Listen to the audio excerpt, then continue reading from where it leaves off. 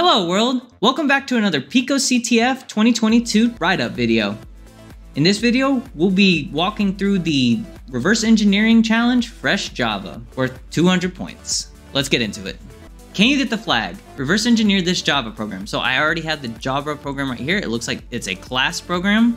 So if we try to open this with Visual Studio Code, you'll notice that the file is not displayed in the editor because it is either binary or uses an unsupported text encoding you want to open it anyways. So if we, as you can see, it's just a bunch of unreadable crap, right? That's not good. So how can we go about reading it?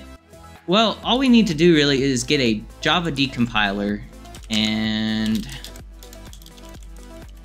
that should unpack our code so that we can actually read it. And I found this one online right here that works pretty well for what we want. Now I do have one on my machine called JADX and it's really good, but for some reason, actually, I, I think, yeah, it's an option right here. You can choose from different decompilers to decode. The JADX I have on my machine didn't actually work. So I've just used the default option that it had first selected on this website and it did work when I did this challenge. So we'll go to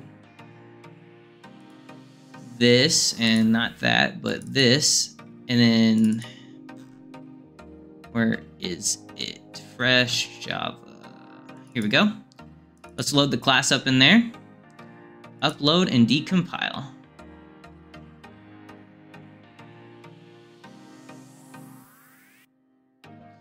So now it's done, and as you can see, this is way more readable than whatever we had going on before, right?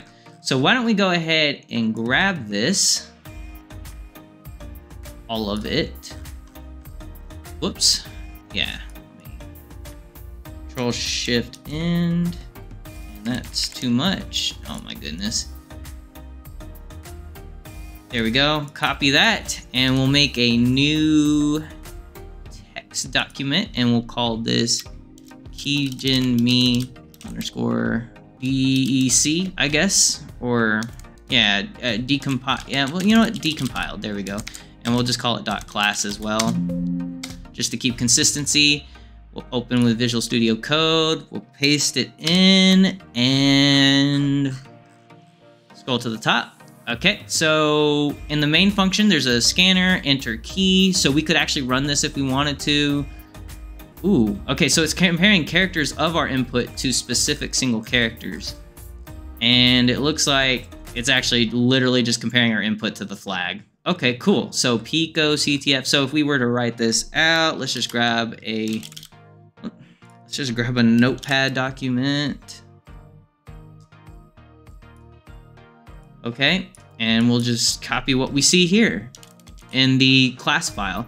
So Pico CTF, obviously, open brace, seven,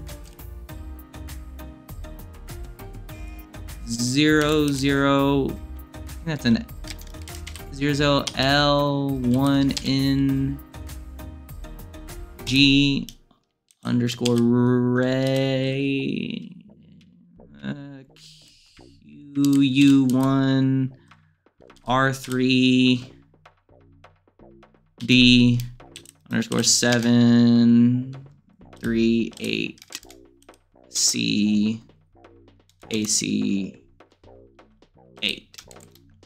Uh, hopefully I typed that all in properly. So our flag is tooling required in LeetSpeak. And that's it.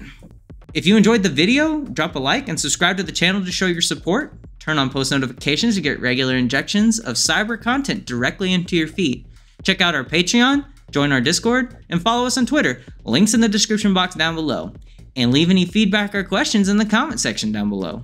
This is Almond Milk. Thanks for watching. Goodbye, world.